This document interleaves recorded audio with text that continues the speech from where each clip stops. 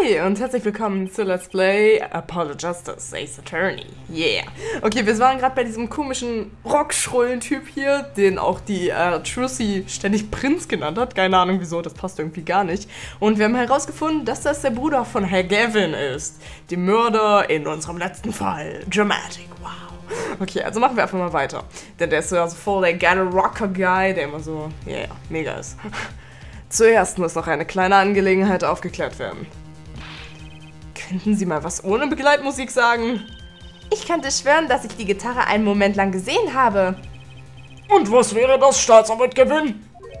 Das Motiv, Herr Richter. Zwinker. Oh, I'm so hot. Warum hat dieser kleine Punk das getan? Warum hat er den Direktor der Meraktis-Klinik umgebracht? Einspruch! nicht so schnell! Der Angeklagte muss sich dazu nicht äußern. Ach, aber was wäre, wenn der Angeklickte dies ausdrücklich möchte? Wie heute Morgen. Ich möchte all meinen Homies was mitteilen, hat er gesagt, meine ich. Was? Was? Trifft es ziemlich gut. Es heißt, wer auf der Bühne steht, soll der Menge immer gehörig einheizen. Du schwitzt wie in der Sauna, Polly. Hm, allerdings. Nun, das ist höchst ungewöhnlich, aber das Gericht wird jetzt den Angeklagten zu seinem Motiv für die Tat anhören. Let's get the party started. Nun, Sie, mein Junge, sind der Angeklagte. Woki, richtig? Ich bin nicht dein Junge, Alter! Du machst einen Kentucky an? Mach dich lieber auf was gefasst! Oh, ja, das kommt jetzt gerade überhaupt nicht so an. Als ob der der Mörder wäre. Nein, nein, nein. Und wenn sie eine Amtsperson anmachen, wandern sie hübsch ins Gefängnis. Das muss man ihm schon lassen. Woki hat echt Mut. Oder der ist einfach nur ein Idiot. Es ist nicht sein Mut, der mir Sorgen macht. Ja, allerdings. Nun gut, das Gericht wird jetzt die Aussage zum Motiv des Angeklagten hören. Vom Angeklagten selbst. Yeah. Let's get the party started. Waki Kitakis Wahrheit.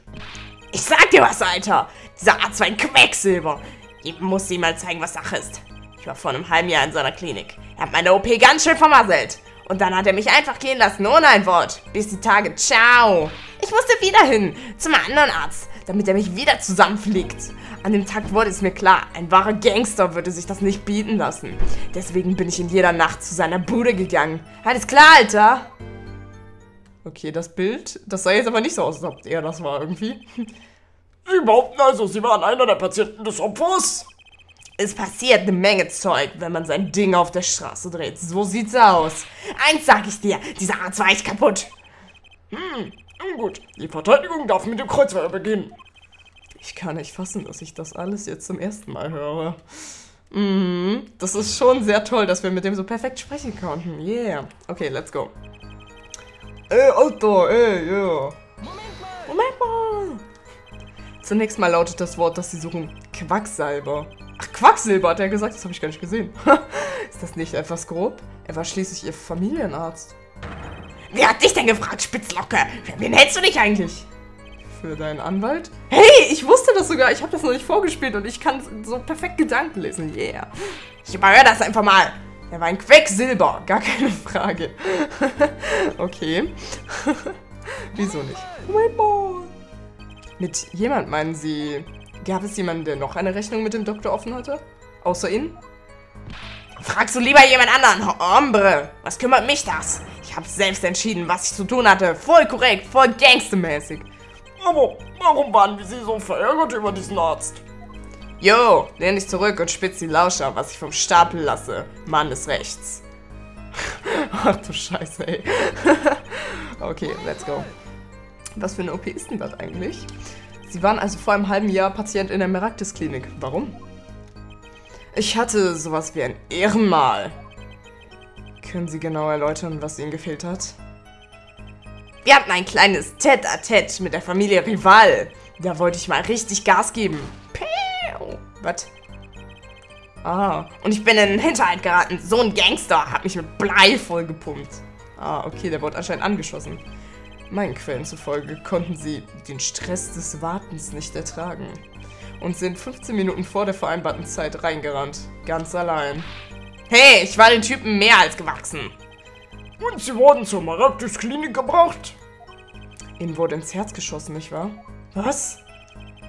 Ha, ja, das habe ich gerade auch gedacht. Ein Schutz ins Herz und er lebt immer noch? Sehr komisch. Ich kann Kugeln mit meinen Zähnen auffangen. Ja, ja. Aber ich habe noch nicht gelernt, sie mit dem Herzen zu fangen. Die Kugel ist kurz vor meiner Pumpe stecken geblieben. Alles klar, Alter? Wäre alles in Butter gewesen, wenn dieser Pfuscher von einem Arzt nicht gewesen wäre. Zu blöd, um eine simple Kugel rauszuholen. Sie behaupten also, die Operation wäre fehlgeschlagen. Das ist ja noch nicht alles, Ombre. Okay. Äh, gehen lassen. Ja, total. okay. Was meinen Sie damit, dass er sie ohne ein Wort gehen ließ? Was glaubst du denn, was das bedeutet? Das ist krass. Was denn sonst? Ich bin mir nicht sicher. Äh, ich bin ja super alt und so. Hab ich vergessen. Ich bin mir nicht sicher, was das bedeutet, aber es klingt ziemlich übel. Es klingt so, als hätte der Herr Doktor seinen Fehler vertuschen wollen. Aus diesem Grund hat er den Angeklagten gehen lassen. Er ist ein Lügner, ehrlich. Ein noch fieserer Gangster als ich. Okay. ähm, zu einem anderen Arzt. Welcher Arzt denn überhaupt? Nun, die Kugel steckt also noch immer? Du sagst, ich kann sie noch immer fühlen. Mitten in meiner Brust. Sie drückt volle Karte gegen mein Herz. Deine, Wo äh, deine Worte treffen mein Herz wie die Kugel aus einem Colt. Oh, Smaxy. da imitiert das Leben mal wieder die Kunst. Das stammt nämlich aus einem meiner Hits. Nun, es klingt nach einem klaren Kunstfehler. Richtig, Richter. Das war kein Versehen. So viel ist mal klar. Es scheint, als hätte es Probleme mit diesem Arzt gegeben. Mann, ihn umzupusten war so, als würde ich der Welt einen Gefallen erweisen. Rocky, würden Sie sich bitte erst mit Ihrem Anwalt beraten, ehe Sie sowas sagen. Kinn hoch, Apollo, Brust raus.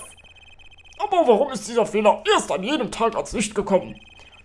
Er wurde bei der Familienuntersuchung bemerkt. F Familienuntersuchung? Das war die krasseste Sache überhaupt. Wir Gangsters sind einer Reihe zur Untersuchung. Besser jung sterben, als dahin siechen, Kumpel. Gut, dass Sie so denken. Hä? Was ist gut? Oh, hat Ihr Vater Ihnen das nicht gesagt? Die Kugel, die so dicht neben Ihrem Herzen steckt, muss entfernt werden. Oder Sie werden sterben. W was? Hey, was ist das denn jetzt? Was hat das in der Verhandlung zu suchen? Ja, Dr. Meraktis wusste von dieser Zeitbombe, die in ihrem Körper tickt. Dieses Wissen hätte ihr Leben retten können. Das kann nicht sein. Das ist ja total krass. Es gibt Beweise. Ihr Untersuchungsbefund. Yeah. Okay, das sollten wir uns vielleicht auch gleich mal angucken. Welch eine Ironie, den einzigen Mann zu töten, der ihnen hätte helfen können. Sie sind beinahe so unvorsichtig, wie er es war. Mega Ausrast. Tja, jetzt wo hier endlich mal Stimmung in der Bude ist, lassen Sie uns mal richtig loslegen. Dachte ich, kommt jetzt wieder. Loslegen? Die Vorgruppe hat uns genug eingeheizt, oder? Mal hören, was der Zeuge so zu sagen hat. Bucky ist auf einmal ganz schön still. Ich bin selbst ein wenig beunruhigt. Ist das Gavins Strategie? Hm. Was? Wie ist das? Iu. Nun, nennen Sie uns Ihren Namen und Ihren Beruf. Oh! Was zur Hölle? Was für ein Teil ist das bitte? Ich heiße Wesley Stickler. Plopp, ich bin so cool. Mit Beruf meinen Sie wohl, was? Nutzen bringen. Und äh, gemäß dieser Definition muss ich gestehen, dass ich arbeitslos bin. Allerdings gilt es, die Bedeutung der Identität zu berücksichtigen, die im Allgemeinen mit dem Konzept des Berufes verknüpft ist. Und wenn wir dieser Tatsache ins Auge sehen, werden wir erkennen, dass Verwirrung per se keine Gestalt annimmt, sondern stattdessen von der Unbestimmtheit herrührt, die allen Darstellungen von Gedanken innewohnt. Ach du Scheiße. Womit er sagen will, dass er ein Student ist. Ein Student an der Harkley University. Noch im Grundstudium, richtig? Oh Gott, jetzt kommt wieder so ein mega Wortschwall. Ja, an der Fakultät für Naturwissenschaft und Maschinenbau. Sehr vielseitig interessiert verbringe ich meine Tage mit der Suche nach der Wahrheit. Ja, Philosophiestudium, bitte nicht. du Scheiße. Herr Stickler, können Sie dieses Interesse mal auf den hier vorliegenden Fall lenken? Nun gut, Herr Stickler. Bitte sagen Sie dem Gericht, was Sie in der Nacht des Verbrechens gesehen haben. Ach, ich bin so toll. Sie fragen so undifferenziert, was ich gesehen habe. Äh, dass der Homo sapiens zwei Augen besitzt, konzipiert sind, Daten zu empfangen und zu deuten, sodass Bilder als Signale bla bla bla bla bla Scheiße. Eine Nacht im Park, yeah. In jener Nacht war ich auf dem Heimweg vom Einkaufen durch den Park, als ich sie sah. Ein Mann hat einen Stand gezogen, ein anderer Mann stand vor ihm. Ich habe sie ziemlich deutlich gesehen. Der Mann vor dem Opfer war der Angeklagte. In seiner Hand hielt er eine Pistole. Die zeigte auf den Mann Äh, auf dem Mand, genau. Auf dem Mann, der den Stand zog. Plopp. Ein Schuss! Die Kugel traf den Mann, der den Stand zog, von vorne mitten in die Stirn. Uh. Heftig, heftig. Waren zu dieser Zeit noch andere Personen im Park? Ich kann mit hundertprozentiger äh, coole Denkpause Sicherheit sagen, dass sonst niemand dort war. Die Pistole, auf die sich der Zeuge bezieht, ist diese hier. Das Gericht akzeptiert sie als Beweisstück. Ist da so gefaked. Na schön, Herr Justice. Wir können den Zeugen jetzt das Kreuz verlegen. Ja, ja, ja. Äh, Trucy, warum schaust du den Zeugen so an? Dieser Mann. Ich habe so ein Gefühl, als hätte ich ihn schon einmal irgendwo gesehen. Hm? Muss das jetzt heißen, dass ich ihn irgendwo gesehen haben müsste? Oh Gott. Das wäre natürlich mal schon super toll. Okay, aber ich gucke mir gerade erstmal die Gerichtsakte ein bisschen an, weil da waren noch Sachen, die ich mir noch nicht angeschaut habe. Also, Bockys Untersuchungsbefund. Ergebnisse einer Untersuchung vom Juni. Äh, Metallfragment in Herznähe entdeckt. Äh, Name des Patienten, Bericht abgelegt. Okay, das haben wir schon mit sofort untersuchen und so. So, am Tatort zurückgelassen, zwei Schüsse, äh, zwei Schuss wurden abgegeben. Fingerabdrücke weggewischt. Okay. Moment, da ist noch gerade was. Pew. Oh, nicht mit dem Ding auf mich zeigen. Keine Angst, ich kenne mich mit Waffen aus. Oh Gott. Mit Zauberwaffen jedenfalls. Solche, aus denen Tauben geflogen kommen. Ach du Scheiße. Sehr beruhigend, ja. Finde ich gerade auch, okay. Ähm, also Fingerabdrücke sind weggewischt. Das ist natürlich ungut, aber okay. Dann kümmern wir uns erstmal um den tollen Zeugen, der so mega smaxy aussieht. So, mm, ich bin Hoddy. Sie waren auf dem Heimweg vom Einkaufen, sagen Sie. Warum gehen Sie dazu durch den Park? Ah, eine faszinierende Nachfrage. Sie enthüllt, dass ich mich unzureichende Ausführlichkeit schuldig gemacht habe. Betrachten wir mal die Zeit, die ich durch das Durchqueren des Parks gespart habe. In dieser Zeit bin ich in der Lage, zwei Bögen mit Prüfungsfragen zu lösen. Ha, ich bin so schlau. Im Durchschnitt benötige ich, äh, folglich benötige ich für das Lösen von zwei Bögen etwa sechs Minuten. Wenn allerdings die Fragen aus der verbalen äh, Kategorie kommen, dann kann, äh, das reicht schon. Genug. Ich verstehe, worauf Sie hinaus wollen. Das wäre es möglich, das Kreuzfeuer nach diesem Monat zu Ende zu bringen. Ah ja, da kann ich natürlich viel, äh, viel für. Ich bitte darum. In Anschluss an diesen Prozessor habe ich ein Tonstudio gebucht. Oh, ich bin so cool. Ich muss zu einem Auftritt. Ah, toll. Mann, ich kann doch nichts dafür, dass sie alle so viel zu tun haben. Ja, ich bin einfach nur ein einfacher Anwalt. Lass mich in Ruhe. Ein anderer Mann stand vor ihm. Okay. Jutti. Haben sich diese Männer... Männer... genau. Haben sich diese Männer vielleicht unterhalten? Aha, Sie haben recht. Ja, das haben Sie. Aber ich habe Sie nicht sehr deutlich gehört. Nur Fragmente. Sowas wie, du hast mich angelogen. Oh, und ich werde dir etwas von deiner eigenen Medition ver... Medition, genau. Deine eigene Medizin verabreichen, Freundchen. das ist genauso, wie Ihr Mandant es behauptet hat. Ich glaube, er wollte den Opfer beibringen, wie sich eine Kugel im Herzen anfühlt. Wenn das stimmt, ist das eine entscheidende Aussage. Also der Fall klingt irgendwie schon ein bisschen verloren. Klingt für mich, als hätte er sie deutlich genug gehört. Wow, Moment mal. Würden Sie es mir gestatten, meine Aussage etwas zu korrigieren? W was denn jetzt noch? Um genau zu sein, er hat nicht Freundchen gesagt, sondern Alter. Ja genau, so war es. Das schwöre ich auf mein Diplom. Was macht das schon aus? Und dieser andere Mann, wer war das? Okay, das mit dem Alter, das ist jetzt aber anscheinend komisch, weil ich glaube nicht, da wird Alter zu irgendjemand sagen, den er nicht so mag. Ähm, der Mann vor dem Opfer war der Angeklagte. So. Wie können Sie sich so sicher sein, dass es der Angeklagte war? Das Verbrechen wurde nachts verübt. Da war es doch dunkel. Oh, habe ich vergessen. ich guck mal schnell in meinem Buch nach. Vielleicht finde ich da die Erklärung. Vielleicht war es falsch von mir, es nicht schon früher zu erwähnen. Hä?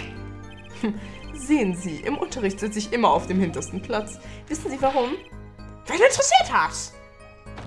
Plopp, ich sag es dir. Weil ich mich möchte, dass irgendwer meine perfekten Notizen abschreibt. What the fuck? Und was hat das jetzt mit Ihrer Aussage zu tun? Ich erwähne dies, um meinen Hang zu allem Perfekten zu illustrieren. Sie sagen, es war dunkel. Aber es gibt doch Lampen im Park. Wenn ich sage, dass der Angeklagte in jener Nacht im Park war, dann stimmt das. Das ist eine unumstößliche Tatsache. Er ist ganz schön selbstsicher. Und außerdem scheint er die Wahrheit zu sagen. Tja, bis jetzt ist das allerdings ein bisschen doof. In seiner Hand hielt er eine Pistole. Moment. Sind Sie sich sicher, dass es diese Pistole war, die als Beweis vorgelegt wurde? Ob ich mir sicher bin? Gewiss. Sie belieben wohl zu scherzen. Oder so ähnlich wäre ein gewöhnlicher Zeuge geneigt, es zu formulieren. Hä? Oh, voll toll artikuliert. Oho, ich musste gerade rülpsen. Doch ich bin kein gewöhnlicher Zeuge. Ich sehe nicht nur Ereignisse, so wie sie sind, sondern auch ihre logische Struktur. Plopp. Zunächst müssen wir die Tatsache betrachten, dass es Nacht war im Park. Unser Blickfeld wegen der eingeschränkten Deutsch ist beeinträchtigt. Und äh, berücksichtigen, dass sich die Pistole Objekt A tatsächlich im Dunkel befand, lässt sich kaum noch mit der Sicherheit sagen, Objekt A wäre in der Tat Objekt A. Ich glaube, er meint damit, dass er sie nicht so deutlich sehen konnte. Meine Marke für einen ganz normalen Zeugen. Doch es ist unwiderlegbar, dass von meinen Augen eine Pistole abgefeuert wurde. Ich sehe es immer noch, wenn ich meine Augen schließe. Der Angeklagte hob seine Waffe. Uh, ein Schuss. Mitten in die Stirn. Okay, haben wir vielleicht einen Autopsiebericht? Sind Sie sich absolut sicher, dass nur ein Schuss abgegeben wurde? Ja, natürlich war es nur ein Schuss. Warum fragen Sie? Aha, ein Widerspruch, endlich. Herr Stickler, laut Gerichtsakte Akte, äh, wurde mit der Pistole zweimal geschossen. Ein klarer Widerspruch. Ja, I'm cool. Gut bemerkt, Herr Justice. Sie sind cool. Richtig cool. Hä? Äh, glauben Sie das wirklich? Oh, Verlegenheit, wie süß. Aber dieser Schuss muss nicht unbedingt in jener Nacht abgefeuert worden sein. Worauf wollen Sie hinaus? Diese Pistole stammt vom Anwesen der Familie Kitaki. Man kann wohl davon ausgehen, dass die Pistole schon vor jener Nacht benutzt wurde. Vielleicht beim anderen Vergehen. Ah, da hat er nicht ganz unrecht. Nach seinem selbstgefälligen Ausdruck zu urteilen, hatte Herr Geffen diese Antwort schon parat, bevor du auf das Problem hingewiesen hast. Er scheint sich seiner Aussage ziemlich sicher zu sein. Wir machen immer die größten Fehler, wenn wir uns am sichersten sind. Irgendwo hat er einen Schwachpunkt, Apollo. Finde ihn. Richtig. Ich sollte mir die Aussage nochmal anhören. Okay, ist da wirklich ein Widerspruch? Ich habe bisher noch nichts bemerkt. Ähm, einkaufen, okay. Ein Stand gezogen. Haben wir hier eigentlich noch Bilder? Also da ist die Karte, die brauchen wir nicht. Die komische Hose. Äh, ach, wir haben den Autopsiebericht. Ja, das ist ja schön. In die Schläfe. Ah ja, weil ich wollte gerade sagen, ist das wirklich in der Stirn gewesen? Weil das hat sich schon was komisch angehört. Also gehen wir doch gerade mal dahin. Ähm, Mitten in die Stirn. Yeah. Okay, so. Äh, Todesursache Kugel in rechter Schläfe. Aha. Puh. Wenn das alles ist, dann habe ich wohl eine Chance. Könnte es sein, dass Sie etwas aufatmen, Herr Justice? Hä? Oh, äh. Einspruch! Einmal ist wirklich genug, Herr Justice. Apollo, halt dich zurück. Dieser Prozess ist noch nicht vorbei. Äh, richtig. Ähm, sehen Sie sich das mal an. Den Autopsiebericht? Gibt es ein Problem mit dem Autopsiebericht? Ähm, richtig. Ein Problem. Das Problem ist... Ja, das Problem ist die Position der Eintrittswunde. Die Position? Sie haben ausgesagt, dass der Mörder das Opfer mitten in die Stirn traf, nicht wahr? Ah, ich habe schon erkannt, worauf Ihre Frage abzielt. Plopp. Gestatten Sie mir, dass ich das erkläre. Es ist wirklich ganz einfach. Erstens müssen Sie verstehen, dass ich mit mitten, nicht mit geometrisch, weil äh, bei einem Meter beträgt die Abweichung bekanntlich bla bla bla. Die Wellenlänge des Lichts, das von einem Kryp äh, Kryptonalpartikel ist Sinnlänge, äh, das Kryptonalpartikel selber, bla bla bla, was auf einen kryptonalen Fehlschuss in Ihrer Argumentation schließt. Justice, Ja? bezog sich Ihr Anspruch auf äh, das Krypton-Partikelzeugs? Sie stehen hier auf der größten Bühne und sind von diesen Krü äh, Krümeln besessen. Erbärmlich. Na, na, na, nein, ich bin von etwas Großem besessen. Ich meine, es gibt hier ein größeres, nicht so kleinliches Problem. Könnten Sie es da bitte erläutern? Sehen Sie sich doch mal den Autopsiebericht an. Die Position der Eintrittswunde. Die rechte Schläfe. Schläfe? Herr Stickler, Sie haben klar ausgesagt, dass der Schuss mitten in die Stirn traf. Das ist ein Widerspruch. Oder etwa nicht? Natürlich. Ist es doch, oder? Endlich! Okay, gut. Dann war es das erstmal für diesen Part und wir schauen einfach mal, was im nächsten Part passiert. Haben die wirklich ein Problem mit dieser Eintrittswunde oder lassen die es einfach durchgehen? So wie wir den schönen, tollen, senilen Richter kennen, werden wir wahrscheinlich was Merkwürdiges ähm, erwarten. Aber gut. Also bis zum nächsten Mal. Ciao!